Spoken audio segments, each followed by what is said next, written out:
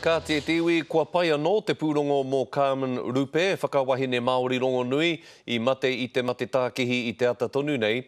He ai ki ngā kōrero hei te Rāhina, hei te Rātū rānei ia tanumia ai. Ko ia tētahi o ngā pou whakawhirinaki mō ngā takāpū i huri noa i te motu, me tētahi o ngā whakaawe kāpara mō ngā mōtika takāpui. Koinei tētehi o ana taiopenga whakamutunga. Ahakoa i mōhio ōna hoa i te mate rawa atu ia, i te ohorere tonu ētehi. huge loss of a great New Zealand character, great pioneer for social justice in lots of ways. Since just recently in Sydney she still had her spirits but she'd lost so much weight and I don't know, I think she just knew her time had come. Ka mate nei a Carmen i te ata tonu nei i Poihākena, e 75 ōna tau.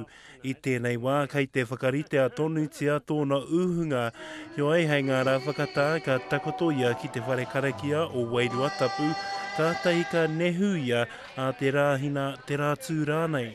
I was the first Māori drag queen ever to start drag shows in New Zealand. Ko ia anō te whakawahine tuatahi i Aotearoa kia uru ki ngā whakataetae hei kāhika mō Pōneke. I think she had great courage, whether she knew it or not, in pioneering the desensitisation around, um, well, minorities such as transgender people. She was on the steps when Dame Whina arrived at Parliament.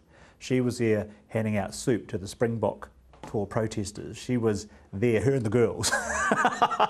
Nō te whānau 13 a Carmen, ko tōna ingoa i taua wā, ko Tregarupe. Nā wai rā ia ka uru atu ki a Ngāti Tūmatauenga. I started when I was 18 as an entertainer. He wahine kairau, he kaiwhakangahau nāna tonu i whawhai mō ngā tikanga takāpui. She did really outrageous things in her time and because of that many of us could follow her afterwards. She was able to stand tall and proudly walk down the street being who she is, which sort of sent a great message to we the younger ones. Nā Carmen tonu te hiahia kia nehu tōna tūpāpaku ki te urupā Māori o Rockwood i Poihākena, Anzac Pikia, Te Karere.